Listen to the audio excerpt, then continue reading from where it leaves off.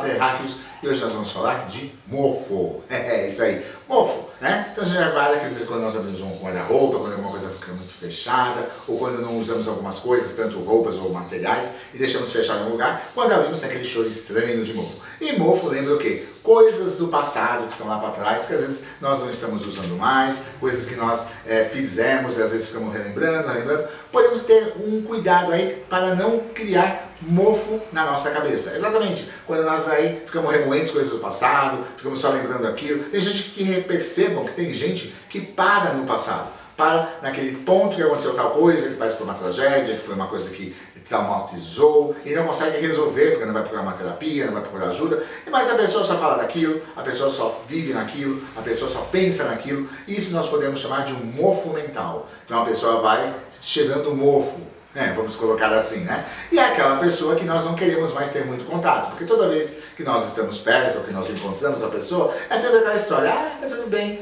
ah, indo, é, então, é, não sei. Aí a pessoa sempre falando das mesmas coisas, sempre da mesma problemática, sempre daquilo que está acontecendo. Então a pessoa não vive o presente, não vive aqui. Então, isso é um mofo que nós criamos. É quando nós entramos em alguns locais. Percebemos que alguns locais que são meio escuros, né? Um cartório, por exemplo. A gente vai no cartório, o cartório tem aquele cheiro de mofo, aquela coisa é, estranha. Eu fui algumas vezes em cartório acho muito estranho, porque a maioria dos cartórios que eu fui é tudo escuro, é tudo meio estranho, né? Não sei. É, é estranho. Então, é isso seria um você ficar preso em passado, ficar preso com cheio de papéis pendurados para todo lado, e às vezes esses papéis podem ser mentais. Nós estamos ali cheio de coisas na cabeça, né, que vai ali ficando, ficando, não se resolve, o tempo vai passando, e isso vira um grande mofo. Ou seja, vamos deixar o mofo de lado, vamos limpar essa mofada toda, né? Vamos criar coragem e viver mais o presente, esquecer ali das coisas que aconteceram, que nos traumatizaram, ou então vamos tentar arranjar alguém que nos ajude, uma terapia, alguma coisa, mas vamos limpar o mofo das nossas cabeças, vamos limpar o mofo das nossas casas, vamos limpar o mofo da nossa vida.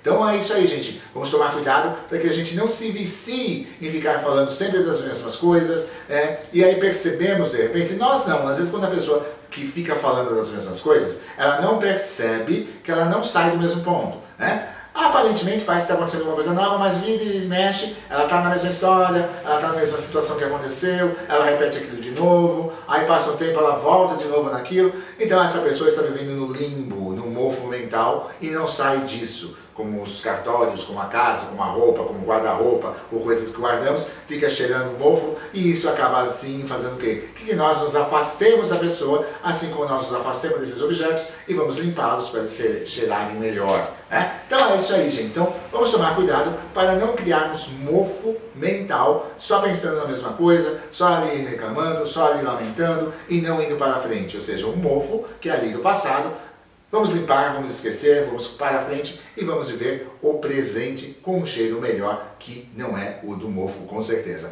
É isso aí, gente. Pense nisso. Você está criando um mofo mental ou não? É isso aí, gente. Deixe seu like, se inscreva no canal e voltaremos a qualquer momento com mais o quê? Fala, Terráqueos! Sem mofo.